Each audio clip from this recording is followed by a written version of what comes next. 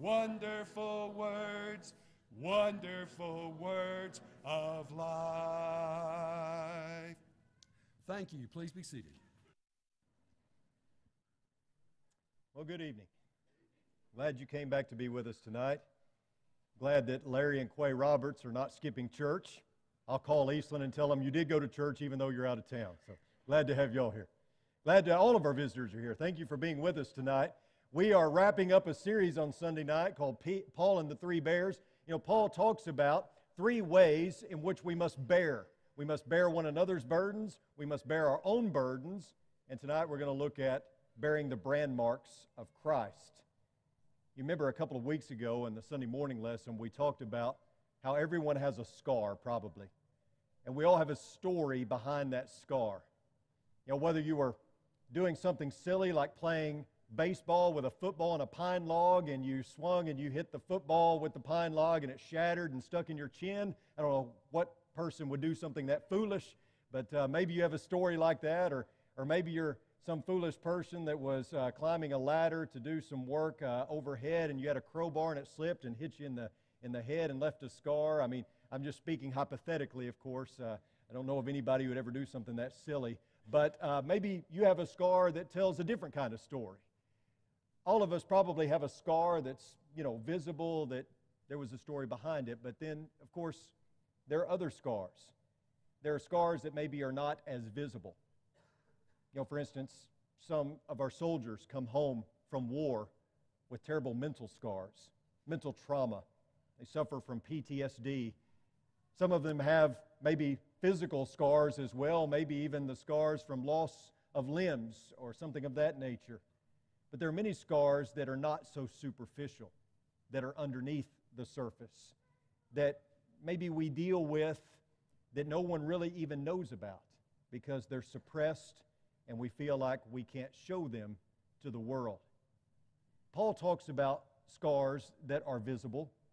He talks about bearing the brand marks of Christ, but he also, within that, talks about some scars that are not as visible, also within the realm of bearing the brand marks of Christ. If you have your Bibles, turn to Galatians chapter 6 and verse 17. This is where we have spent the time talking about these, these marks that we are to bear, these burdens. In Galatians 6, verses 1 and 2, we talked about you know, bearing those burdens of one another. We talked about bearing our own burdens. But in Galatians 6 and 17, Paul says, From now on, let no one cause trouble for me, for I bear on my body the brand marks of Christ. Have you ever noticed that the letter to the Galatians is really Paul venting his frustration? If you've ever read Galatians from chapter 1 to chapter 6, you notice that Paul is getting frustrated with the, with the Galatian brethren. You see, it seems that apostasy has set in. Paul closes his letter by giving a rather sharp admonition. This phrase in Galatians 6:17 indicates an agitation, if you will, with the Galatian brethren. The letter is punctuated with criticism, at least in part for the saints' lack of diligence. For example, Paul mentions those who were so quickly deserting him who called you by the grace of Christ for a different gospel. That's chapter 1 and verse 6. He also wrote, There are some who are disturbing you and want to distort the gospel of Christ. That's chapter 1 and verse 7. The original language here indicates an apostasy is in progress. False teachers had come in and enslaved and, as he puts it, bewitched the Galatians with a Judaistic gospel. And as a result, some had turned on Paul. And apparently, some adversaries viewed him as if he were the enemy. Now, this perplexes Paul, as Galatians 4 and 20 tells us. And so he issues a rebuke to the Galatians in chapter 6, uh, excuse me, yeah, in chapter 6, verse 17. And he charges them to stop causing trouble for him. That they shouldn't be his enemy, they should be on the same side as him, working for the same cause. The word trouble here is the Greek word kopos, and it primarily denotes a striking or a beating. In Galatians 6 and 17, it's used metaphorically for distracting a person's attention by causing him embarrassment or precipitating worry. Paul did not need this stress in his life. He had endured enough trouble already, and this leads to Paul saying, For I bear on my body the brand marks of Christ. Now, the present tense verb bear here is the same word that we have talked about before. It's the word bastazo in the Greek language, and it marks, uh, it, it, it talks about marks that are visible or marks that can be seen on the surface. And it's as if Paul is issuing a challenge here by saying, Look at my scars, take a good look at them. You might could imagine him pulling up his cloak and showing them his back where he's been whipped so many times. You can imagine how disfigured Paul's body was would not have been much to look at. Probably very grotesque and something you wouldn't want to see. And it's as Paul is saying, Look at these marks. Look at what I have endured for the sake of the gospel. Have any of you done that? Have any of you bore the brand marks of Christ the way I have? Now, if you use the New American Standard Version, as I do, the word is stigma. And stigma can mean a few things. Stigma can refer to a brand as when a master branded his slave. And many people think that's what Paul is referring to here. He is referring to being a bond slave of Christ, and therefore he is bearing that brand. Stigma could also refer to a tattoo. We know that the pagans used to tattoo the names of their gods on their bodies. So perhaps Paul is referring to a tattoo that he bears on his body of the name of God. I don't think so, but it could mean that. Or it could mean, and what I think it means here, is a stigma is related to the plural form stigmata, and it's a scar resulting from wounds. And I think this is more likely what Paul is referring to that the brand marks for Christ are those wounds, visible marks that he bears on his body because of the persecution that he has had to endure for preaching Christ.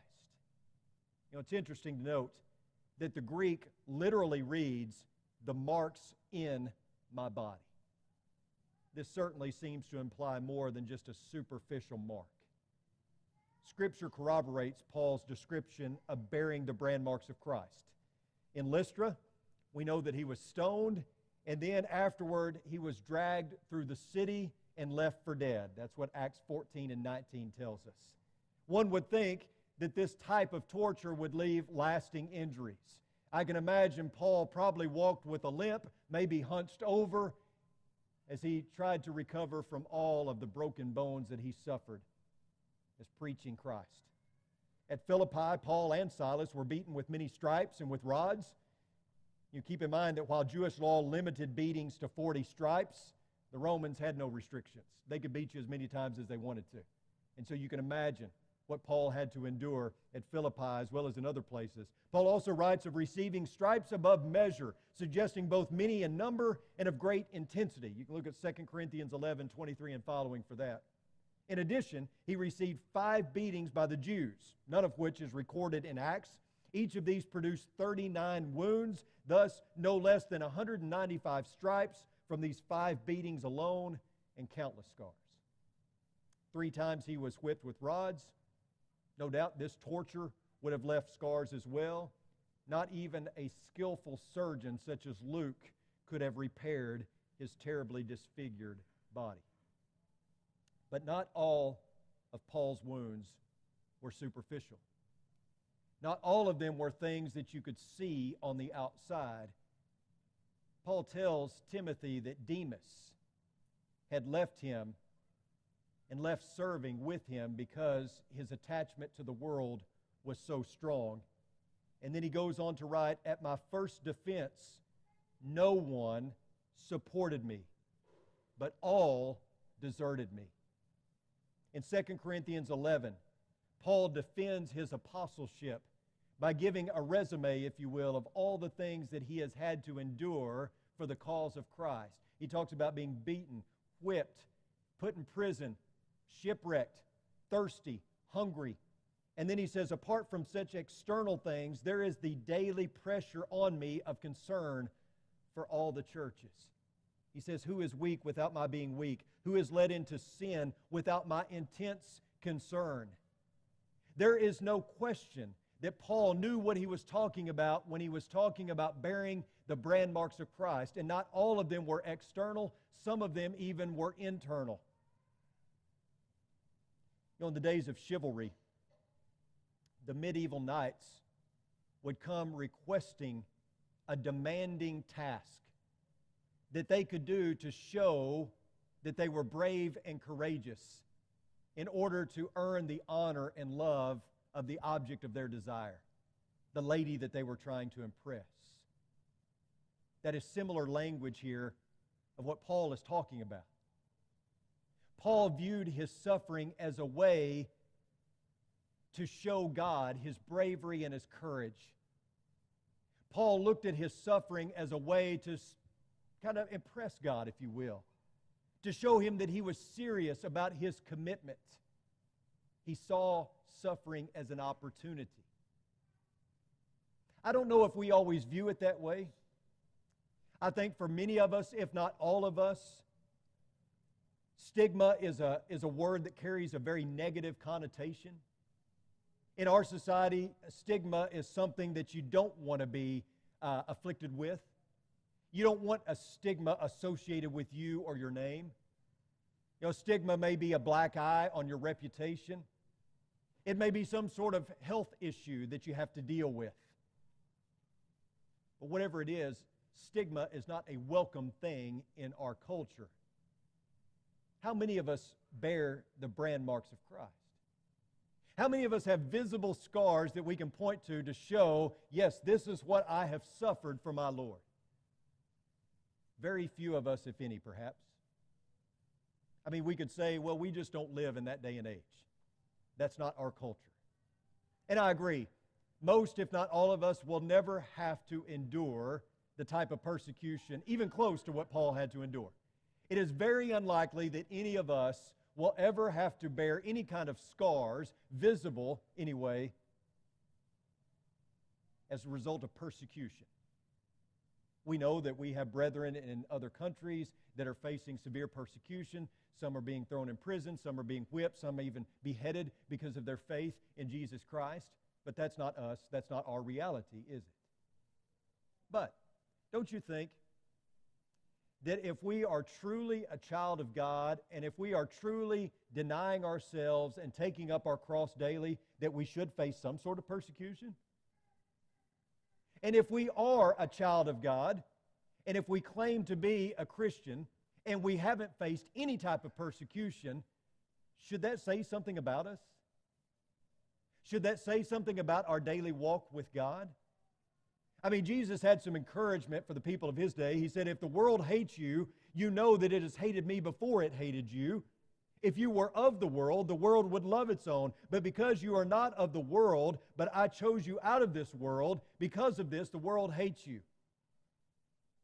You know, it's not getting any easier to be a Christian. I mean, you look around your world today, and you're often viewed as someone who is reviled or someone who is against the rest of the world. Many times the name Christian is a stigma, isn't it? You know, it's getting harder and harder to make a difference in the world around us as a Christian. People are not as receptive. In fact, many people are very resistant to anything that is in favor of God or the teachings of Jesus. We know we live in a culture now that calls evil good and good evil. We live in a culture that's trying to silence the Christian voice. We live in a culture that doesn't want to hear about morality or biblical authority. We live in a culture that, much like in the days of Judges, does whatever is right in its own eyes. It's not getting easier to become a Christian. And at some point, Christians have to be willing to be bold and courageous to stand up against whatever opposition there is to say, no, this is the way it is. This is how I believe. This is what's important. This is what is godly. This is what is righteous. And therefore, this is where I stand. Obviously, we can do that without being violent or terroristic. We can do that without being even um, hateful or malicious. But we've got to be able to stand. You've heard me say before, at some point the church has to win, doesn't it? I mean, when in your life does the church win? I realize I'm preaching to the choir, but I mean, that's what we would ask of anyone who claims to be a Christian. When does God win in your life? You know, we talk about all the other things that we're doing from day to day in our activities. When does God win? When does church win? Because it should win. It should always win. It should always be first place, but so often it's not, right? And so it's not surprising that, that Christians don't stand. That maybe we try to mix the two, the world and our Christianity. We try to straddle the fence, so to speak. We try to have the best of both worlds. We want to stand for Jesus, but we also don't want to be too offensive to the world around us. We don't want to show too much of Jesus because that's offensive. But you can't have it both ways, can you? This is an all or nothing proposition, as you've heard me say time and time again. We're either on the side of the Lord or we're on the side of the world. We're either making a difference in the world by being a light or we're making no difference by trying to straddle the fence or just blending in with the world around us. There are too many spiritual chameleons that just blend in with whatever surrounding they're in. And that shouldn't be us. We should be a people who are willing to stand for Christ no matter the cost. Are we willing to do that? And if we do that, do you think we're going to face some persecution? Absolutely. What kind of persecution? Well, you're probably not going to be whipped. You're probably not going to be beaten. You're probably, at least now, not going to be thrown in prison. I'm not saying that would never happen, but at least not now. So we're not going to face the type of persecution that Paul faced. What kind of persecution may we face? Young people, you may face verbal persecution for standing up for Christ, for standing up against peer pressure. You may face being ostracized from a friend group. All of us may have terrible rumors spread about us. We may even lose a job. But at the end of the day, we have to stand for what is right and face whatever comes our way, knowing that we're standing on the side of Christ, knowing that we're standing on the side of God. You know, in 1 Peter chapter 2, verses 19 and 20, it reads, For this finds favor. If for the sake of conscience toward God a person bears up under sorrows when suffering unjustly, for what credit is there if, when you sin and are harshly treated, you endure it with patience? But if when you do what is right and suffer for it, you patiently endure it, this finds favor with God. Understand that to be a Christian in the first century was not about being a good person. It wasn't about going to church every time the doors were open. If you were a Christian in the first century, you will be persecuted. That was the message, really. You were going to be persecuted if you were a Christian in the first century in some way, shape, or form, whether outwardly and physically or maybe more mentally, emotionally, in those kind of ways. It wasn't just about being a pretty good guy. It was about suffering. 1 Peter 2:21 states, "For you have been called for this purpose, since Christ also suffered for you, leaving you an example for you to follow in his steps. To follow in the footsteps of Jesus meant suffering, and it probably still means that today. And we're not talking just about suffering in a physical sense related to physical maladies. We're talking about suffering as a result of persecution because of the one that we follow. You know, we still live in the Bible Belt. We live in the buckle of the Bible Belt here in Abilene, Texas. And so maybe we are sheltered from a lot of this that we're talking about this evening. You know, even when I lived in Missouri, I could preach a lesson on abortion, and I'd have a few of the congregation, maybe even 10%, 20% of the congregation, not happy with me.